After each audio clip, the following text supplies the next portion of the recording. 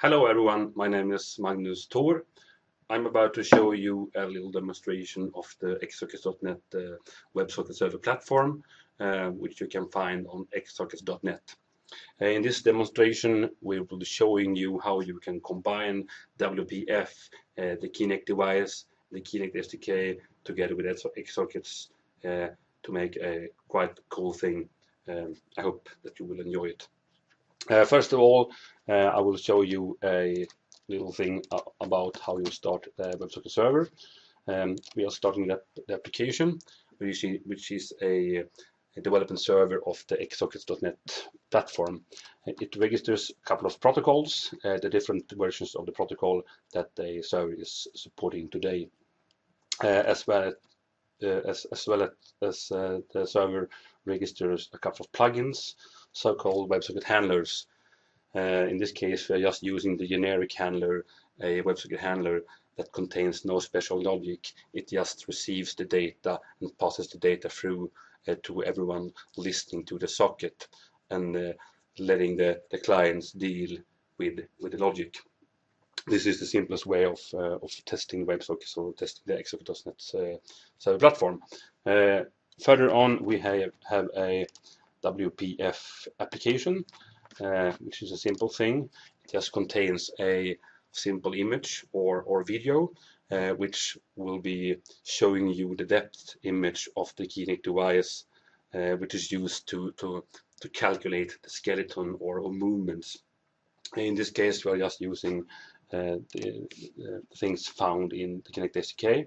We can see here that we have a, a runtime that sends a event called skeleton framework uh, frame ready.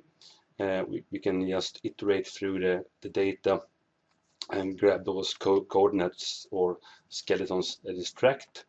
Uh, if we have a skeleton, we can say that the application is sending data, and we can also iterate through the, the skeletons where we have a state called tracked, which is pretty much the thing, same here. Um, for each uh, of those skeletons or skeleton parts we find, we are creating a new object called calculated skeleton points. Uh, we are also uh, adding this um, this uh, object to a list of uh, to a list. Uh, when this is done, uh, we are just needing, or this application just needs the right hand because we are not using the, the other parts of the skeleton. this is why I say the list equals the, the right hand. when this, this is done, construct a XSocket event, which is a list of calculated skeleton points. In this case, there is only one, one skeleton point.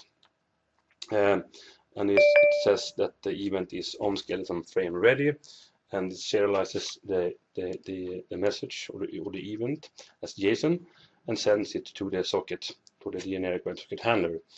Uh, so as the server is now running, uh, so we can start uh, the WPF application. Uh, we can see that the device is not tracking anything right now because um, we have to, to move far away from, from the device. let us also open up the server. if I move a little far away from the camera, wave, then we can see that the Kinect device is now sending data to our WebSocket server uh, already is, it has sent 200 messages as you see. Uh, so let's start up uh, the WebSocket client in this case. We have a little thing called Kinect Ninja, which is, which is a, a, a game inspired by Fruit Ninja or Kinect, Fruit Ninja for Kinect and, and, other similar games. Now we can see that I'm moving the uh, the sword by using my right hand uh, probably can optimize the, skeleton things a little bit more to make more accurate uh, movements. But we can see that we are able to to have a Fruit Ninja-like game using WebSockets. In this case, uh, we're also able to surf into this web page and look at other players playing the, the game. Uh, so this is pretty much the thing uh, we can go back to the server let us uh, disconnect from this page and have a look at the server we're still sending data approximately uh, 1,500 messages is already sent or movements is sent from the device and it now stops tracking. Oh, it found me again. Let's stop the, the, the WPF application. then we can see that the uh, server disconnects or grabs an event that there is no one listening, there is no one sending data. So how does this, this work? Uh, you pretty much saw the thing here. Uh, we have in the Kinect data. Um, we have a little application that uh, uh, has an event called skeleton frame ready. And we have the event handler as shown earlier. And also we have the, the depth frame ready. Uh, we are showing the image as you saw within a little image window in application. So let us see on the on the sorry um, let us have a look at the client. Uh, we can just uh, open up uh, a web page called uh, Ninja Kinect, which you may recognize. Let us uh, have a look here.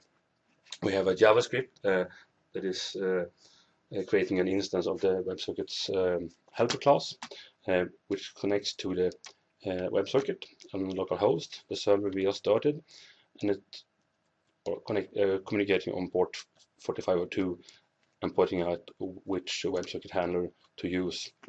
Um, further on, we have an event called open, which is fire off when we have an open WebSocket. In this case, we are sending open to the to the uh, console. Uh, as you may remember, we are we're assembling a XSocket event within the WPF application called on skeleton frame ready. This is the the, the, subscribe pattern within the, the JavaScript. Uh, we are receiving an event called on skeleton frame ready, uh, which gives us a skeleton. And for each um, object within the list of skeletons or skeleton parts, we are sending the, the coordinates uh, as an argument to the to the Kinect um, uh, interface of the game. As they publish publish the coordinates.